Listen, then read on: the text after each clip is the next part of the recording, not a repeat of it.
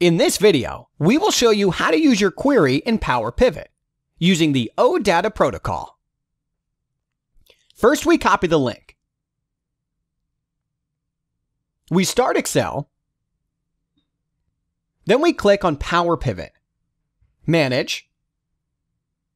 From Data Service. From OData Feed. If you click on Advanced, you can enter your user ID and your password. I paste my link. Next, finish. Close. Pivot table. Chart and table horizontal.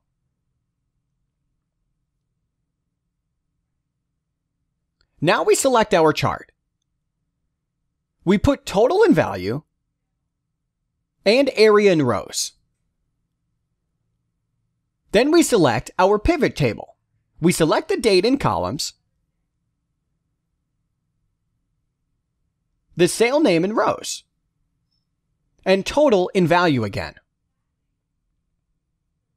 We want to play with the criteria, so we will insert a slicer on the area.